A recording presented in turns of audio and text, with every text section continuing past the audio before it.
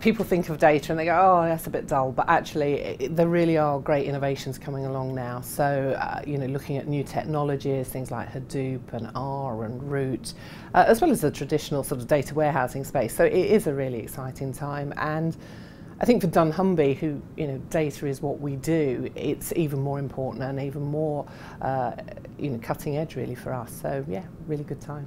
My typical day to day is really varied, really, really varied. So it goes from those big strategic pieces around innovation and big data and the challenges we face in capturing new information in you know, as fast a way as we can. So removing all the data latency wherever we find it. So that's sort of one, one area that we're looking at. But then it goes down to the volume of work, how we manage that, how the work flows through the department, what that means for the actual data teams, how do they innovate, how do they improve their solutions as they currently exist.